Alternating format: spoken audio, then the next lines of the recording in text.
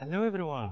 This is the first video in the series about logo mockups. We'll be doing more videos about this in the coming weeks, so if you're interested, subscribe or just check back every now and then. With that said, let's begin.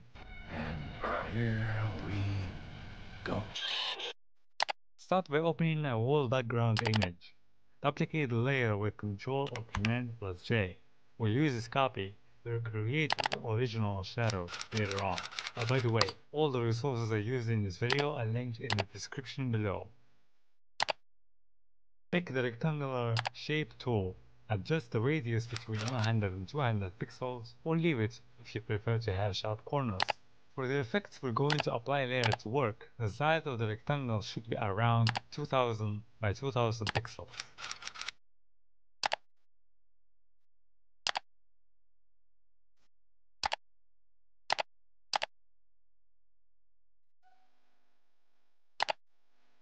Open and place your logo. This mockup won't work for all logo types, especially not for mascots and emblems. It's made for word marks and monograms. Select both logo and rectangle layers and pick the Move tool. Click Align horizontally from the options above. Now select the rectangle layer and control click on the logo to make a selection of it. Then go to Select and Invert Selection or press Shift Control I on your keyboard. Apply a layer mask by clicking the icon at the bottom of the Layers panel. Then convert the shape layer to a smart object. Make a copy of it and name it something like place your design here. Delete logo now.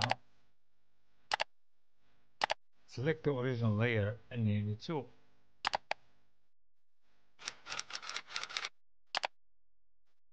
Then open its layer style. First, bevel and emboss. Pick inner bevel, depth 200, size 5, and check global light. Set the angle to 110. Set the highlights blending mode to color dodge with 70% opacity. And for the shadows, the blending mode is multiply with 50% opacity. Next, drop shadow. Set blending mode to multiply with 50% opacity and check global light and set the angle to 110. Distance 30 pixels and size 40 pixels and click OK.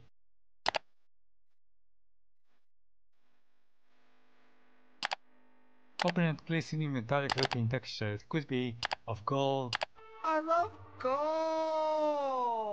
Silver, copper, whatever you like. Scale it to cover the rectangular shape and clip the two layers to each other with the texture on top. To do this, right click and choose Clipping Mask.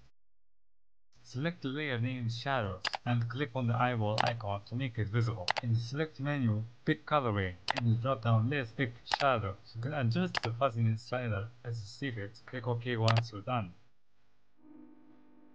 Apply a layer mask and change the blending mode to soft light.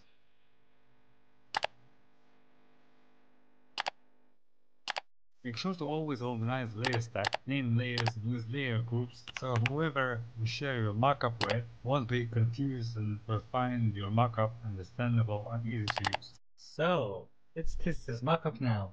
Double click on the smart object is going to open a new tab where you need to open place another logo or design.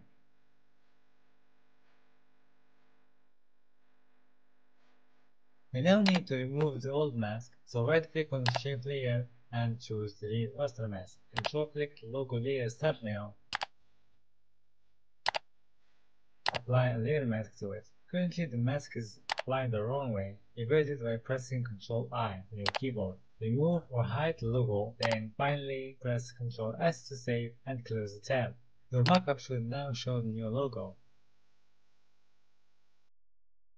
That is it for this tutorial. If you'd like to watch something else, YouTube thinks you will like this next.